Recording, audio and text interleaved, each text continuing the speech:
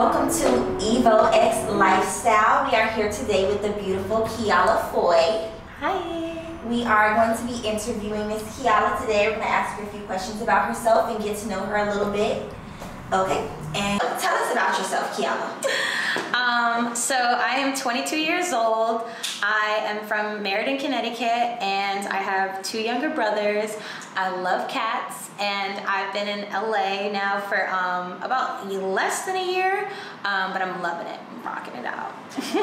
well, what made you come to LA?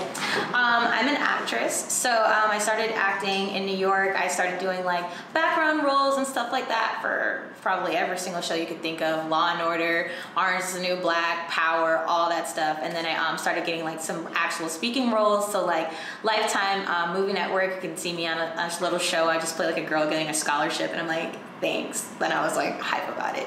Um, I also did something on the Food Network. Um, so it's a show called Mystery Diners, and I played like an evil elf, and it's this Christmas special. So I had like many people from Connecticut like hitting me up, like, did I just see you on Food Network? I'm like, yes, you did. So yeah, just you know trying to do every opportunity I can. All right. So what was it like growing up in Meriden, Connecticut? Tell us a little about it. Oh my goodness. Um, I loved it because like I just like life in general. I'm always like doing as much as I can and trying to have as much fun as I can. But um, I don't know. I just always thought like there's just so much more world. Like I have to get out of there and like do it. So that's what I did. Like I don't know. Growing up in Meriden, like it was just like okay. Is it a small town or is it like more city?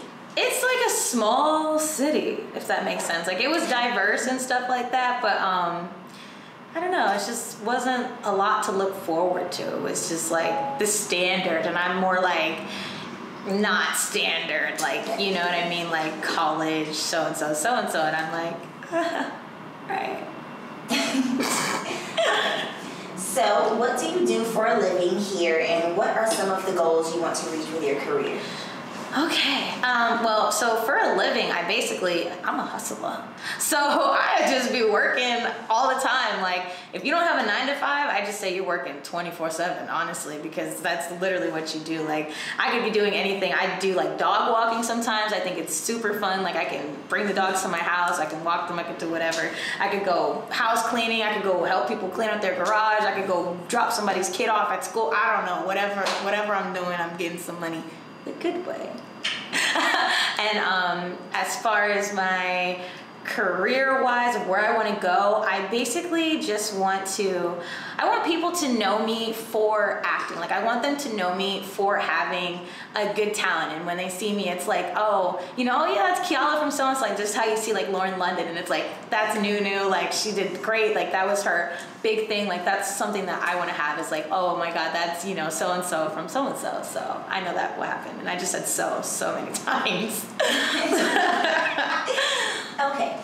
So, when did you first get into the modeling aspect of things, and when did you start using Instagram as a platform to promote yourself? Um, I I think I grew up with like social media stuff like that. So Instagram started I think when I was like a sophomore, but it wasn't like a huge huge thing. But people were still on it. But I was always trying to like make videos like even on Vine. Like I was doing like Vine stuff, and I had gotten some you know some like followers from there because I'm really silly and like goofy and stuff. But um I don't know, Instagram just kind of took off and I just tried to take off with it, you know what I mean? Just, you know, using it to as much as you can and it really does help like with anything. Like you never know, you can meet people to do whatever and it's it's good that Instagram is there because you get to find like-minded people. So like if you want to do something like you're going to be able to find somebody who's doing the same thing or wants to do the same thing or has ideas and then it's like boom, like if you guys just do it, then you know it becomes a thing and then that's when it's like you know beneficial as far as like using instagram and stuff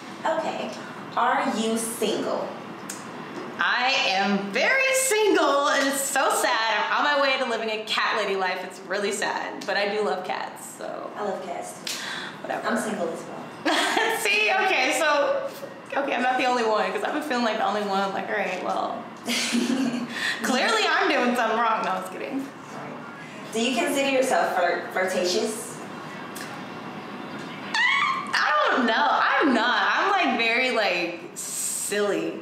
Like if I see someone I like, I'm not afraid to like go talk to them and stuff like that. But I'm not somebody who's like, hey, little mama, let me whisper in your ear. Like Yeah, so it just comes naturally. yeah, like and not mama, boy. What have you learned from some of your past relationships? Absolutely nothing. No, I was kidding. Um, my past relationships, just learned like you have to have your own back at the end of the day. Like you just have to make sure, um, you know, you stay on, stay in your lane of what you have for yourself. Like don't get so caught up in somebody else that you're not. Um, you're not doing what you want to do to make your own self happy because only you can make yourself happy. So there's that. And then also, um, don't trust guys. Just don't trust them really, pretty much. Like I'm trying to like think of I feel like I had another meaningful message but I forgot in the middle of saying it. Do you think? Do you have a do you happen to have a favorite relationship that you can tell us about? A favorite relationship? oh my gosh.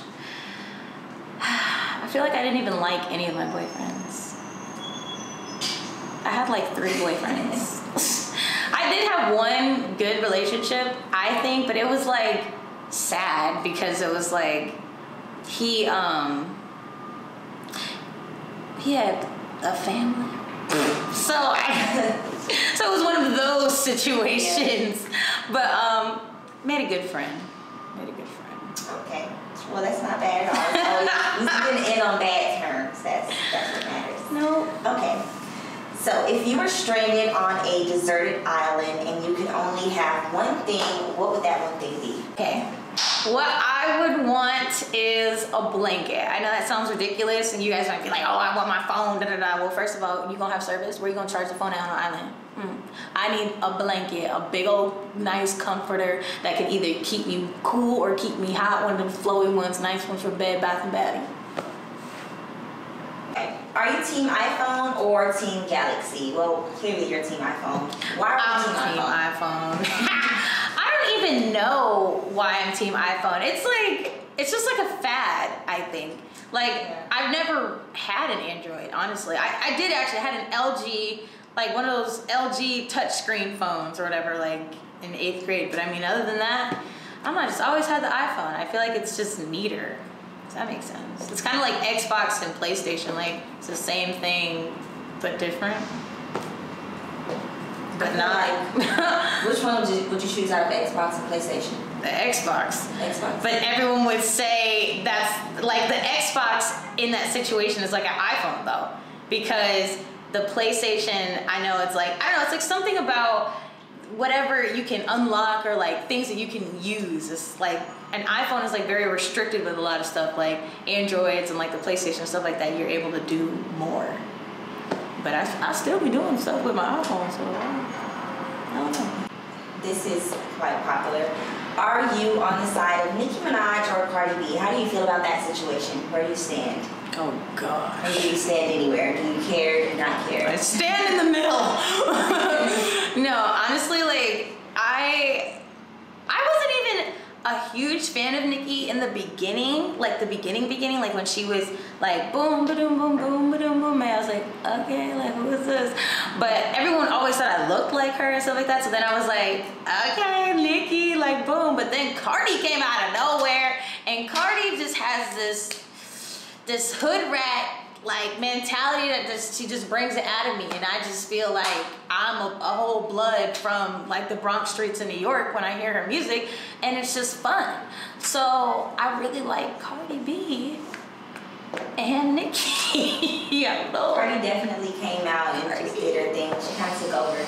She did take over because even when uh, when Bodak came out, whatever, I mean, that shit was hot. It was hot, and I don't, I can't really say there's like a song like that from Nicki. Even though she's great, she's successful. I'm not saying that she's not, but if I had, like, I could probably think of a song from Cardi before I could think of a song from Nicki. Even though Nicki is the queen, whatever, boom. But Cardi, man, she's just a vibe. Yeah. What is your favorite restaurant here in LA, and why? Hmm. I um there hmm.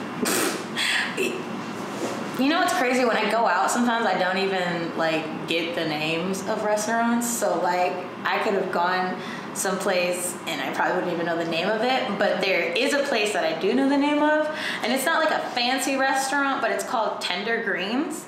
And it's just like really good food. And it's just like, you know, you could get like salmon or like potatoes and like I just I love salmon, so that's why I mentioned the salmon and I love potatoes. That's why I mentioned the potatoes. Um, so it's just like really good. It's just like served fresh. You can get like steak there and stuff like that. And it's just you know good cooked food that you can get that's like pretty quick and you can even get like a salad. They have like a um, a lemonade in it, but it's a mint lemonade and it's so freaking good and refreshing. Like so, it's like right near my house too. I'm pretty sure it's all around LA, but Tender Greens, it's like really really yummy. And my friend put me on. All right, I didn't. I should have asked you this in the beginning of the interview, but when is your birthday and what is your zodiac sign? yes, um, my birthday is August 18th, 1996. Yeah, and I am a Leo. So if you didn't know. You seem so much like a Virgo. I'm a Virgo. Really? I think it's next to it, right? Yes. I'm a whole Leo. Salmon potatoes. I'm like, maybe she's a Virgo.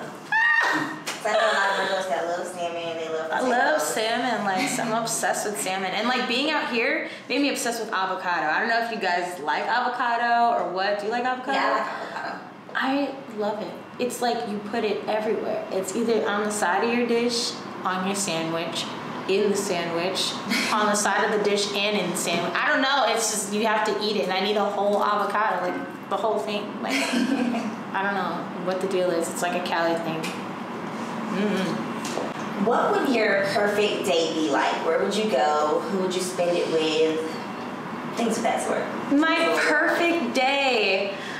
I really enjoy like relaxation, so I would love to do like a spa thing. Like I like getting massages, so like a massage would be great. Um, and then getting some good food, so some kind of good food. Uh, from anywhere, it could be 10 degrees. and then, um, yeah, like I would say a massage, good food, and shopping, of course. Like going to go get something, like clothes. I like to buy a lot of stuff at once, so like I don't know, like I would maybe go to like the fashion district and get like an abundance of clothes. Like that's fun to me rather than just like going to just, you know, like regular Forever 21. Like I would rather go like honestly like Salvation Army or like you know, like a thrift store or something like that. They have them like on Melrose, and it's just like you can find quality pieces, but like things that are just like cool and different. It's not like you know the same stuff that you're seeing all the time. So I like to do that. Okay, so if you had one wish, what would it be? Um, but my one wish, I think, would just to to have my family like be with me and just us live super comfortable. You know what I mean? Like it doesn't have to be like oh we're rich and famous and all that jazz. Like that'd be nice. But it's just just being comfortable. Like just having everything that's like necessary having you know a car having your bills paid having you know food and running water and all that stuff like that is that would just be enough for me that's that's my wish do you see your family often? Like, do they come here to visit, or do you? no, I, I haven't seen my like parents in like maybe since I've come out here. So like it's been like over six months. But um, my brothers, I actually brought them out here for like two weeks in the summertime, and um, we went to like Disneyland stuff like that, and they just you know had a good time. I I probably had more fun at Disneyland than they did. Like they were acting like. Oh, you bring me to this little kid place. I'm like, what? They're like 13 and like 17, so but whatever. They were like, we had fun because you were happy, and I was like, Aww. what? That's so sweet. That you're right, but yeah, I so yeah, I just want my family to come over here have fun. Okay, so what do you like the most about um, LA so far? I don't know. No, I was kidding. Um, I just like that.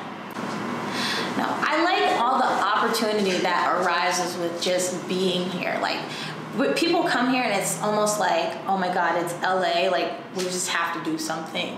So it's just like I don't know. I like that aspect about it. If that makes sense. Definitely, it's very. I think it's very a lot of opportunity. Yeah, like a lot of opportunity and, and stuff like that. I try, I try not to say that because I came from New York, like I said. So it's there's opportunity there as too, but it's it's just different here. Like there's just always something to do here. Like there's classes you can take. Like I'm not even a dancer. You know, Aliya Janell. I've been going to her dance classes, dancing in heels, like as if I'm an advanced dancer. Yo, yo, it's so fun though. Like it's a lot of fun. Have you um have you done like any work out in the Hollywood studios or anything like that yet? Yeah, I have. I did. Yeah, I did. When I came out here, I did like because I was like, dang, how do I start like doing stuff out here? So what I did in New York, start background come over here, you start background. So um, I had told myself when I had visited, I visited and I went by the Walt Disney Studios and I was just like, dang, I was like, I'm gonna work here one day, like da da da da. And now I'm like living here, and my first job was at Walt Disney Studios. I went there to do um, a show called The Fix, and like literally, you know, I had gotten my name. You know, you're casted for it, so like when you go in, there's someone there, and you have to like give them your actual passport or your license or whatever, and they check you in and stuff like that, and you get your pass like go in there and it's like people pay to go into these studios to like look at them and I'm over here like getting paid to, to freaking like be here. So I was like super stoked. But yeah. I, I was playing like a lawyer too, so it was like really funny. I was like the youngest person there. They're like, Did they really cast you? And I'm like, uh yeah. I was like, don't I look 26 at the most? I did. They gave me a little blazer. Yeah, they gave me clothes and all that stuff, food and it's a good time. So in New York, I actually went to Zendaya's uh, pop-up shop and I met her there or whatever. And I was just like, yes. And I was just like, hey, I was like, oh, I was like, I'm an actress too. Like I worked in Orange is the New Black, da da da. And then she was like, that's amazing. And I was like, yeah, I'm gonna see you like in LA, girl. Like don't play with me. And then what happened? I actually worked a show that she's on called um, Euphoria, and I saw her again, and I went up to her and I was just like hey, I know you may or may not remember me, but a year ago today was when I met you. So wow. yeah, isn't that insane? I worked on the show with Zendaya again in LA now, one year after seeing her in New York, after me telling her. But that's just, you know, universe working. I just Definitely. It was crazy. It was crazy. But yeah, Zendaya. Manifestation at its best. Yeah, Zendaya. I really like her. She's like one of my inspirations. Um, Rappers or artists have you worked with so far? A lot. like that's that's what I learned. Like coming out here, it's like these people are accessible. You know what I mean? Like it yeah. seems like they're totally unreachable sometimes, but they're not at all. Like I did music videos, and the first one I did, it was 2 Chainz and Ty Dolla Sign, and I'm like, okay, lit. Um, Girl's Best Friend. It's like, uh, like yeah, it's called Girl's Best Friend. So. Mm-hmm. Um, my part, they actually casted me to be one of the lead girls. So they had more than one lead girl but I wanted to be like they had other girls who were like dressed up, so they were all looking the same because they were called like Oompa Loompa girls, but they had gotten like a dress and like this white wig. They had white contacts. They had gotten these um, like bedazzled like all over their lips, and I just asked the director guy. I was like, I was like, can I look like them? Because like I always am just like sitting pretty looking regular like i want to look cool. So i took so i like basically switched roles to somebody else and then i got to be like looking like them so it was like super fun. Um, but yeah i did so that was like the first one that i did out here. The next one i did um, was tyga. They you know they had us go on a bus like all the way basically to Vegas. It was almost I don't know, maybe like a hundred girls or whatever. And they yeah they gave us like they we got to keep the clothes that they gave us. It was um like a, a one piece thing and like boots and socks and like a mask that they gave us, and it was for the um it was for this song "Flossing in the Bank." So floss, floss in the bank by Tyga. Um, so we're like in the desert, like marching and stuff like that, and it was like it was just like super super awesome. And then I did um, uh, I did uh, Lil Pump, uh, Butterfly Doors. I did Tyga again. Okay, I'm gonna have to go watch that. Yeah, they, we were dressed in like these cool outfits. Um, there was literally like freaking eight Lamborghinis or or uh, Ferraris. I don't know. Um, I did Tyga again, and it was uh, it was like girls want to have fun. I did that music video, and then I did um, Kevin, Juicy J, Kevin Gates, and Lil Skies um, music video called "Let Me See." So that was like really fun. We're like in an office or whatever, and we're just like I don't know. I gave him like a massage. so that's what you see me doing, like giving him a massage in, in the music video. Which who did you give a massage to? Juicy J. Juicy J. Yeah, wow. yeah. so I was like, okay, like this is crazy. So um. Well, let's just do it in increments. Where do you first? Let's start. Where do you see yourself in five years? She said in increments. Um, in five years, I just want to have like a home, and I have a home. trust me, I have a home. But I'm just saying, like, I want it to be, you know, that's where I'm staying. Like, I'm gonna, you know, get a home and change it up to be like, you know, me. You know what I mean? Like I want to have a freaking glam room with one part of my wall that's like a fuzzy wall, like a rug or something. You know what I mean? Like just personalize my home and that to be like my home. So, So do five you- years. Do you, let's um, do something a little more far fetched. Where do you see yourself in 20 years? Have you thought about that at all? Like what you No. might be doing when you're 42 years old? Right. Oh my God. 42? That's crazy. That's crazy. I don't know. Like, so far in the future, what is that? 20, 2039? oh gosh.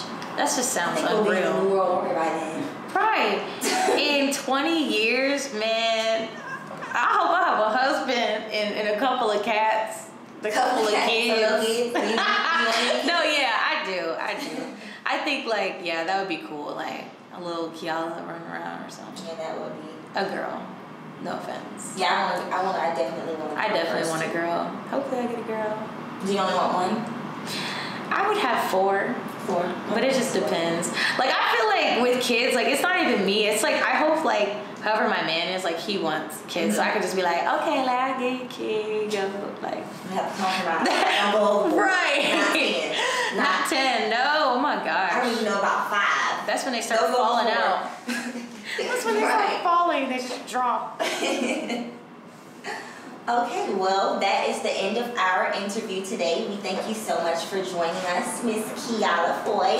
You're- And it was wonderful to have you, and we look forward to, you know, getting with you again and getting some more stuff done. We're gonna move forward to the photo shoot and get some photos done and get you on your way. We thank you so much for coming out.